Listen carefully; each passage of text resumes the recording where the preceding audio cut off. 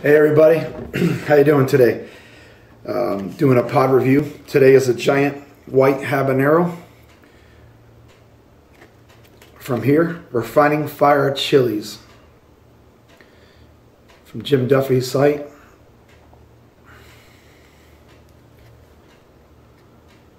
Know how well you can see it. Um, this is the first time I'm actually doing it without the wife.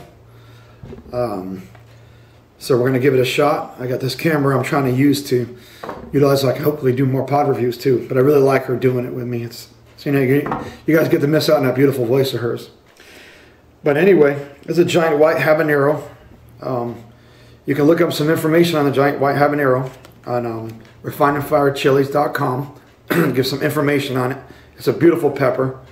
Um, it's actually tasty. Um, it's not a really really hot pepper, which I'm gonna I'm gonna grab bite again. I had a, I had a, I, I bit into it. I ate one a while back, real quick. Um, but we're gonna check into this right now.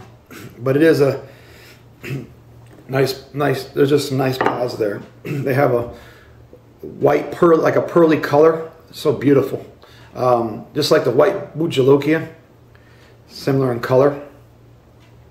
But uh, I'm gonna take this big one right here and go right at it uh, go eat it right off. Mmm. You can see the the juice, the uh, capsaicin, the oil. There's a lot of it.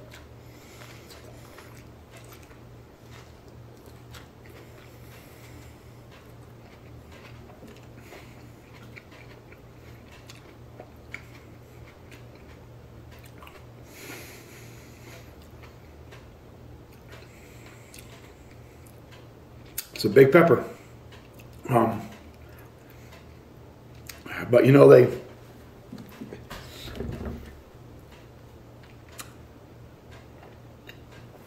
giving it's building up. Nice smooth flavor, especially for that uh, uh, habanero type pepper. I really am digging the uh, these white peppers, white Bhut Jolokia, the um, white hab. Mm. It's got some medium heat to it, especially surprisingly for a white. Um, it hits, doesn't take long for it to hit the mouth. Um,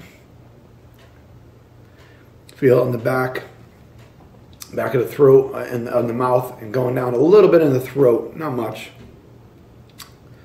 But it is hitting throat some. That's a nice burn. Nice burn with a with a um, with almost a zero aftertaste. I mean, if anything, it's a decent aftertaste. I really like it. Um, good flavor. Nice heat. Um, it's got a nice burn. You got to remember too. I mean it's not like these these uh, million and up uh, super hots, you know. But these are some big boys, man. That was a big one, man. It was bigger than this. So it's got a lot of oil in there, man. I'm just thinking like like a king cobra. It's not, I don't think I don't think it's in the top ten most venomous snakes in the world, but things are so big. Boom! They put a lot of venom in you. And this has got a lot of a lot of oil, man. You can feel it all in your mouth.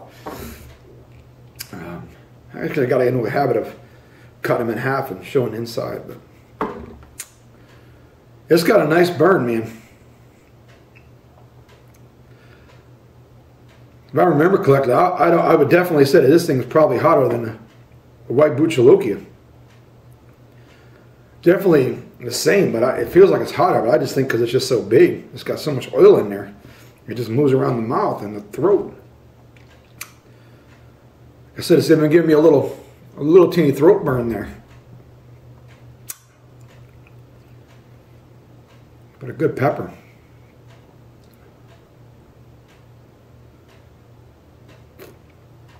I actually got some of these guys growing in my garden.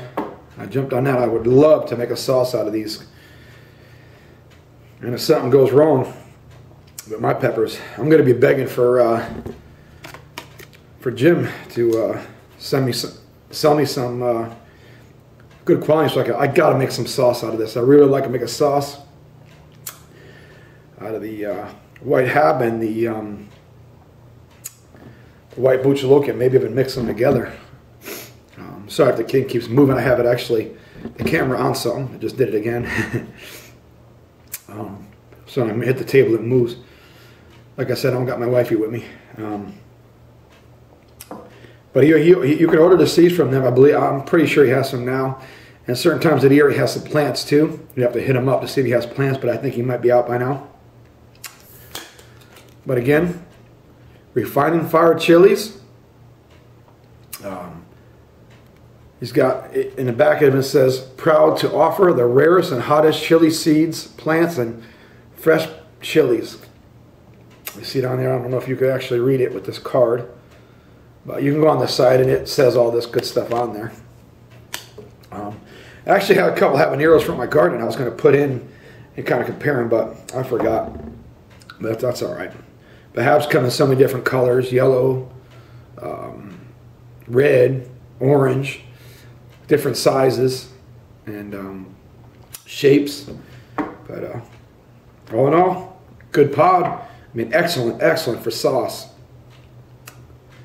Um, very good. Um, it's a decent flavor. Good for sauce. You could actually, like what my wife does, you could have a dish, take a bite, take, you know, and it's that kind of a pepper to do that with. Eat it by itself like I did. Um, mix it with some food.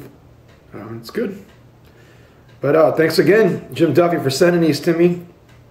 I just wanted to do this. This is the last of the piles I have from Jim Duffy.